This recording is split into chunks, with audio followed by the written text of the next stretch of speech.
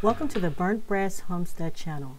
Previously, I made farmer's cheese using raw milk and vinegar. Farmer's cheese can be made using raw milk or store-bought milk. That includes whole, half, or skim milk. This is raw milk that I am freeze drying to store in the pantry. As most of you know, milk has about a two-week shelf life in the refrigerator. By freeze drying milk, we can store enough to satisfy our family and have it to last for years. When stored properly in oxygen free, airtight containers, it can last about 20 to 25 years. I plan to keep freeze dried milk in my pantry so that we don't have to make frequent trips to the store, or in the event we are snowed in for a couple days to a blizzard, or any other dangerous weather conditions. And with food costs increasing so rapidly, we can buy what is on sale now and freeze dry for consumption later. To freeze dry raw milk, I use a Harvest Right freeze dryer, but you can dehydrate milk as well. I prefer the freeze dryer because I use raw milk and do not want it exposed to so much heat for a long duration of time. Afterwards, I pack the freeze dried milk into a half gallon sized mason jar and remove the oxygen. This is a half gallon mason jar of freeze dried milk.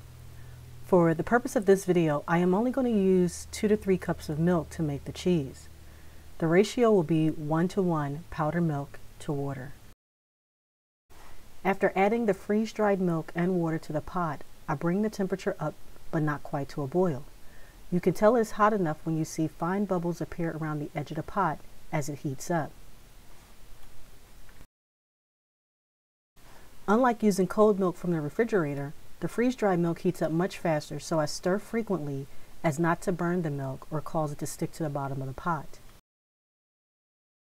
At this point, the heat is turned off and the milk can be removed from it.